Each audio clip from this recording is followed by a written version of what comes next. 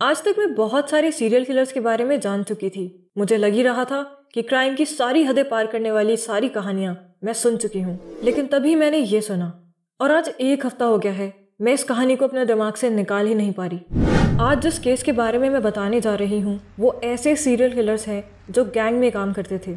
और काम ऐसे कि इन पर बनी मूवी देखकर लोग थिएटर में ही बेहोश होने लगे। वैसे तो इनका मेन काम डकैती था लेकिन लूटपाट के बाद शुरू होता था इनका असली घिनौना खेल। गैंग में आदमी और महिलाएँ दोनों काम करते थे और डकैती डालने के बाद ये गैंग करते थे। इन्हें इससे कोई फ़र्क नहीं पड़ता था कि सामने मेल है या फीमेल। गैंग में आदमी औरतों का और महिलाएँ आदमियों का करती थी और जिसके बाद ये अपने विक्टिम का गला काटते थे। क्योंकि गला काटने के बाद जब वो तड़पते हुए सांस लेने की कोशिश करता था और जो उसकी सांस की नली से हवा खींचने की आवाज़ आती थी वो इन्हें बेहद पसंद थी। ये लोग नेक्स्ट लेवल बदतमीज़ और सेडिस्ट थे। ये कहानी है टंडू पालिया गैंग की।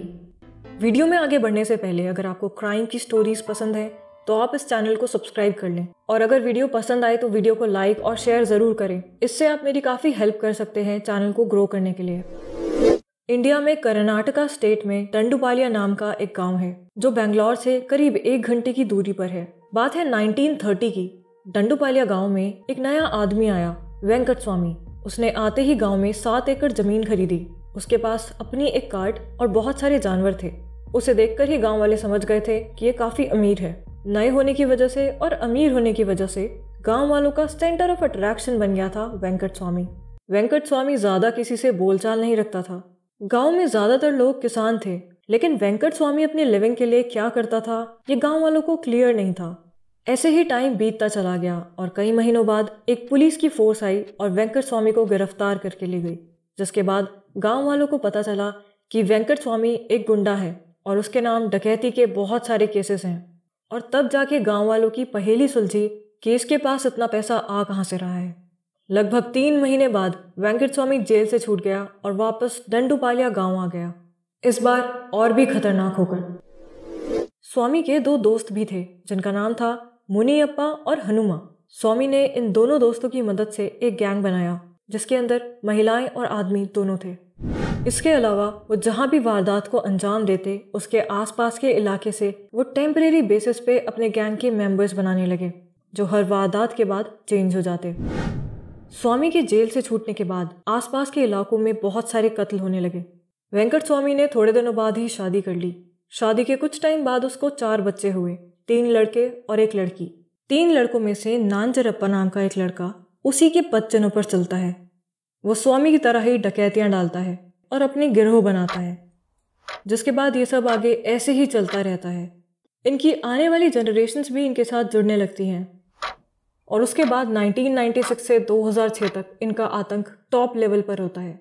इनके गैंग के क्राइम करने की स्ट्रैटेजी एकदम फिक्स थी। सबसे पहले इनके गैंग से कुछ महिलाएँ जाती। और वो घरों की रेकी करती, जो घर उन्हें बाहर से अमीर लगता, उस घर का दरवाज़ा खटखटा कर कभी वो चूड़ियाँ बेचने वाली की एक्टिंग करती तो कभी वो अपनी गोद में बच्चा दिखाकर कुछ मांगने की। जब वो घर के किसी भी मेंबर से बात कर लेती तो उन्हें अंदाज़ा हो जाता कि उसका घर अंदर से कितना बड़ा है, और ये सारी रेकी करने की प्रोसेस लगभग महीनों तक चलती। वो एक ऐसा घर चुनते, जिनके पड़ोसी दूर दूर हों या कम हों। और एक कंडीशन और थी, उस घर में कोई पालतू कुत्ता नहीं होना चाहिए। वरना वो बेफालतू में लोगों को अलर्ट कर देगा। इसके बाद वो सबसे पहले देखते कि घर में एंट्रेंस और एग्जिट के दरवाजे, खिड़कियाँ कितनी हैं। ये सारी जानकारी लेकर गैंग की औरतें गैंग के लीडर्स के पास जाती हैं, जिसके बाद वो ग्रुप में बैठकर डिसाइड करते कि उनका अगला टारगेट कौन होने वाला है। और एक बार टारगेट फिक्स हो जाता तो वो उससे पीछे नहीं हटते। क्राइम को अंजाम देने से पहले वो अच्छे से देख लेते कि घर के अंदर एंट्रेंस और एग्जिट की कितनी सारी जगहें हैं, जिसके बाद वो एक तारीख फिक्स करते और उस दिन रात होने का इंतज़ार करते। रात होते ही गैंग के मेंबर्स अलग अलग टुकड़ों में डिवाइड हो जाते। सबसे पहले वो अपने टारगेट घर के पड़ोसियों के दरवाजे बाहर से बंद कर देते, ताकि जब चीख पुकार हो तो उनकी मदद को कोई आ ना पाए। उसके बाद वो घर के हर एंट्रेंस और एग्जिट पे अलग अलग टुकड़ों में तैनात हो जाते और आरियाँ, कुल्हाड़ियाँ और गैस कटर्स लेकर घर में रास्ता बनाने के लिए हमला बोल देते। जब घर में दरवाजे तोड़ने की या खटर पटर की आवाज़ आती तो घर के लोग डर के जग जाते। रात के अंधेरे में जब वो ये सब सुनते तो सबसे पहले लाइट जलाने के लिए भागते। लेकिन तब घर वालों को पता चलता कि उनकी लाइट के कनेक्शंस कट चुके हैं। वो तुरंत मदद के लिए टेलीफोन के पास पहुँचते। तब उन्हें पता चलता कि उनकी फ़ोन लाइंस भी काट दी गई हैं, जिसके बाद एंट्री होती डी गैंग की। सबसे पहले गैंग के मेंबर्स सारा कीमती सामान लूटते। सीधे साधे घर वाले अपनी जान बचाने के लिए आगे बढ़ बढ़ कर उन्हें अपनी जमा पूंजी देते। एक बार जब सारा सामान इकट्ठा हो जाता, उसे कोने में रख के उसके बाद शुरू करते टॉर्चर। सबसे पहले रेप्स करते हैं। औरत, आदमी, बच्चा, बूढ़ा, ना उम्र से फ़र्क पड़ता, ना जेंडर से।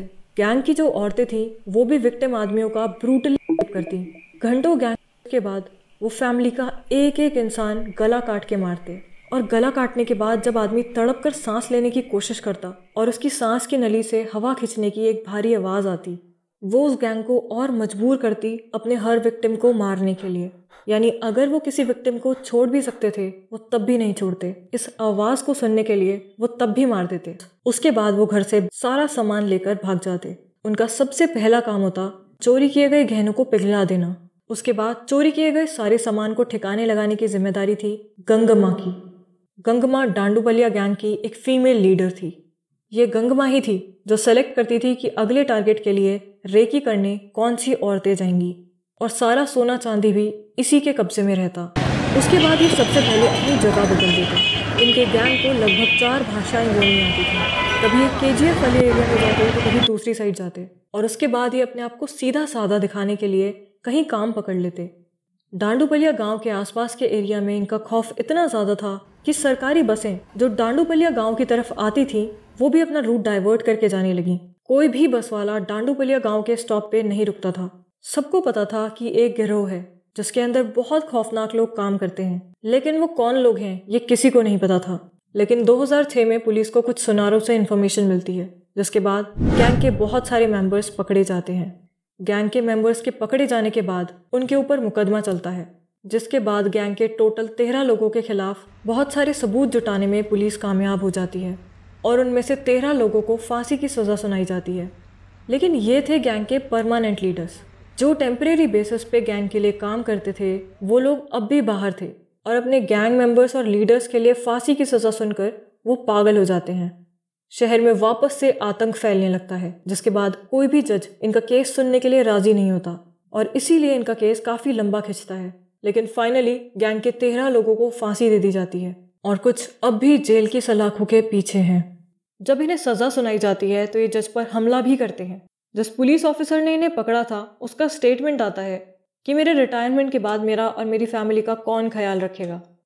और इनके केस से जुड़े हुए पुलिस वाले आज भी इतने डरे हुए हैं कि कई पुलिस वालों ने अपने घर में बारह बारह कुत्ते पाल रखे हैं। अपने घर के चारों तरफ़ ऐसी फेंसिंग करा रखी है जिसमें करंट दौड़ता है। डांडूपलिया गैंग का नाम डांडूपलिया गाँव से पड़ा, क्योंकि वो वहीं के रहने वाले थे। और डांडूपलिया नाम से साउथ की एक मूवी भी है।